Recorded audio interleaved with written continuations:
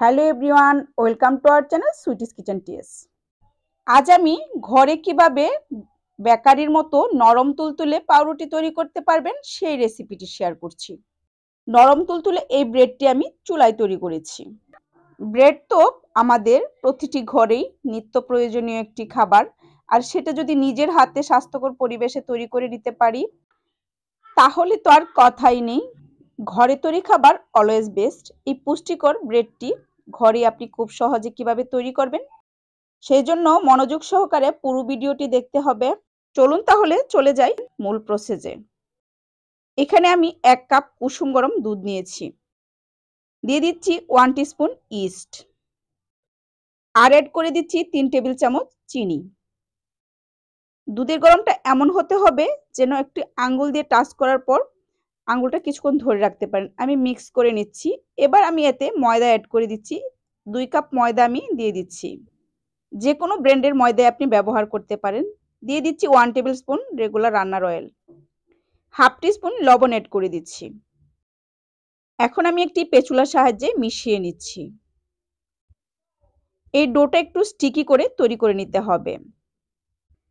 ডোটা যদি আপনি স্টিকি করে তৈরি করেন, তাহলে আপনার ব্রেডটা ফ্লাফি হবে। এবার আমি আরও দুই টেবিল চামচ রান্নার রেগুলার অয়েল দিয়ে দিয়েছি। দিয়ে হাতের সাহায্যে ভালোভাবে ময়ান দিয়ে দিচ্ছি। এই কাজটা একটু ধৈর্য সহকারে করতে হবে। বেশ কিছুটা সময় নিয়ে এই ডোটাকে মথে নিতে হবে। ময়ান দেওয়ার এক পর্যায়ে দেখবেন ডোটা খুব সফট হয়ে এসেছে। আমি পাঁচ ছয় মিনিট ডোটাকে ময়ান দিয়ে নিয়েছি। আমি বাটিতে কিছুটা তেল দিয়ে ব্রাশ করে নিচ্ছি। এতে তলায় লেগে যাবে না ডোটা। এবার ডোটাকে হাতের সাহায্যে সেট করে নিয়ে বাটিতে রেখে দিচ্ছি। একটু লক্ষ্য করলে বুঝতে পারবেন ডোটা কতটা সফট করে তৈরি করে নিয়েছি। আমি একটি প্লাস্টিক রেপার দিয়ে রেপিং করে নিয়ে বাটিটাকে এক ঘণ্টার জন্য গরম কোনো স্থানে রেস্টে রেখে দিব। আমি ফিরে এসেছি এক ঘণ্টা পর, ডোটা ফুলে ডাবলের থেকেও বেশি হয়ে গিয়েছে। ভিডিওটি যদি ভালো লাগে তাহলে চ্যানেলটি সাবস্ক্রাইব করে পাশে থাকার অনুরোধ করছি।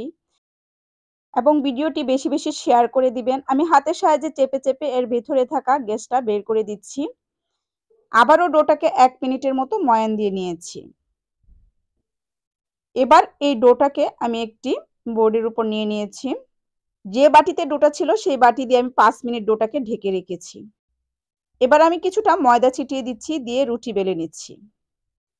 ডোটা যদি আপনি পাঁচ মিনিট রেস্টে রেখে দেন, তাহলে ডোটা বেলার পর ছোট হয়ে আসবে না।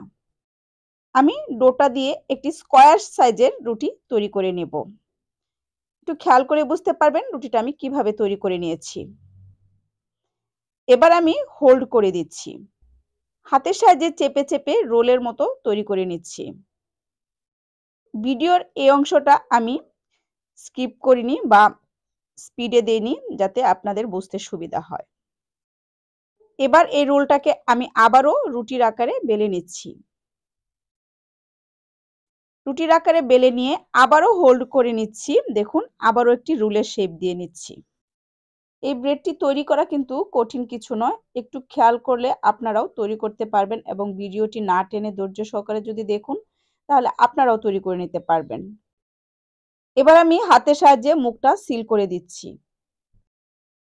মুখটাকে ভালো করে সিল করে দিতে হবে যেন খুলে না আসে। এবং যে অংশটা আপনি সিল করে নেবেন সেটা নিচের দিকে রেখে তারপরে বেক করবেন। আমি একটি মোল্ডে কাগজ দিয়ে তেল ব্রাশ করে নিচ্ছি। এবার এই মোল্ডে আমি ব্রেডটা দিয়ে দিচ্ছি। হাতের সাহায্যে সেট করে দিচ্ছি। আমি একটি রেপিং পেপার দিয়ে ব্রেডটা ঢেকে দিচ্ছি এবং গরম কোনো স্থানে রেখে দিব রেস্টে এক ঘণ্টার জন্য। ফিরে এসেছি এক ঘণ্টা পর। এক ঘণ্টা পর দেখুন ব্রেডটা ফুলে কিন্তু ডাবল হয়ে গিয়েছে। একটি বাটিতে ডিমের কুসুমের সঙ্গে এক টেবিল চামচ দুধ দিয়ে দিয়েছি, দিয়ে ব্রাশ করে দিচ্ছি ব্রেডটির উপরে।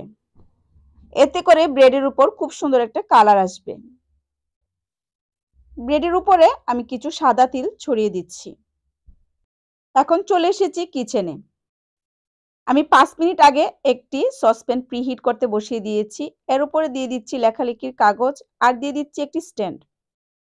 এবং আমি এখন সাবধানে ব্রেডটি বসিয়ে দিচ্ছি। এবং একটি সিলভারের ঢাকনা দিয়ে ঢেকে দিচ্ছি আর, এবং উপরে একটি শিল দিয়ে চাপা দিয়ে দিয়েছি যেন ভিতরের হাওয়াটা বের হতে না পারে। চুলার আঁচটা লো থেকে একটু বাড়িয়ে দিয়ে আমি পঁচিশ থেকে ত্রিশ মিনিট বেক করে নেব। আমি ফিরে এসেছি ত্রিশ মিনিট পর। একদম পারফেক্টভাবে ব্রেডটা তৈরি হয়েছে। একটু খেয়াল করলে বুঝতে পারবেন ব্রেডটা কত সুন্দর হয়েছে। এর উপরে আমি তেল ব্রাশ করে দিচ্ছি। ব্রেডটি ঠান্ডা হওয়ার পর আমি ডিমোল্ড করে দেখাবো আপনাদেরকে। ঠান্ডা হওয়ার পর এভাবে ট্যাপ করে নিলে ব্রেডটা খুলে আসবে। আমি ব্রেডটিকে ডিমোল্ড করে নিচ্ছি। দেখুন কত নরম তুলতুল একটি ব্রেড তৈরি হয়েছে। আশা করছি আমার আজকের ভিডিওটি আপনাদের কাছে ভীষণই ভালো লেগেছে। তৈরি হয়ে গেল কিন্তু ঘরেই এত সুন্দর ব্রেড তাহলে আর বাইরে থেকে কিনে আনার প্রয়োজন নেই। ঘরে কিন্তু খুব সহজেই তৈরি করে ফেলতে পারবেন এত নরম তুলতুলে বেকারি স্টাইলের ব্রেড আমি আপনাদের সঙ্গে কেটে শেয়ার করছি। ব্রেডের ভিতরটা দেখুন কতটা সফট হয়েছে, কতটা ফ্লাফি হয়েছে ব্রেডটা ভিডিওটি যদি আপনাদের কাছে ভালো লেগে থাকে, তাহলে ফ্রেন্ডস অ্যান্ড ফ্যামিলিতে বেশি বেশি শেয়ার করে দিবেন। আর একটি লাইক তো পেতেই পারি। আপনাদের একটি লাইক আমাকে ভিডিও বানাতে অনেক উৎসাহ যোগায়। আর চ্যানেলটি সাবস্ক্রাইব করে পাশে থাকার অনুরোধ করছি.